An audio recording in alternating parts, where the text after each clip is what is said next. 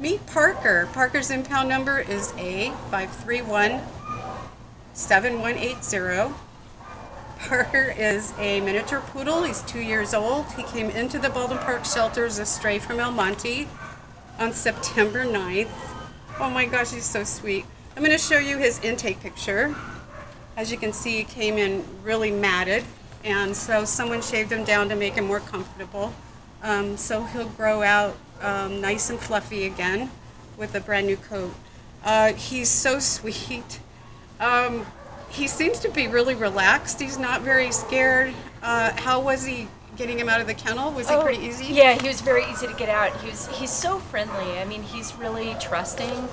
Um, as soon as he saw the leash, he got really excited, and so and um, and he's such a perfect size. I just lifted him right up, and and we went That's out. really nice. He's a very, very nice dog. We'd like to see him get out of here. He's been altered, so he's ready to go home today. No one's come to claim him, so he is up for adoption.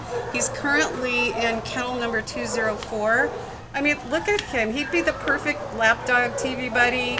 Um, how is he on leash? Is he He's, pretty good? Yeah, he's really good on leash. Good on and, leash? Um, and he looks incredibly relaxed right now, but he's he's got a very perky walk. Okay. Like, um, you know, he's got really good energy and and um, and curious. Yeah, that's great. So he's he's just an all, just a great dog, and he's hypo, hypoallergenic. So if you have allergies, um, they are the perfect dog. And he he seems like, you know, he was loved at one point. Uh, someone took good care of him. He's very trusting and sweet. So we'd like to see him get out of here and get into a new home, a permanent home where he knows he's loved and he's safe. So please come down and meet Parker. Again, Parker's impound number is A531 7180, and he's in kennel 204. Bye, Parker.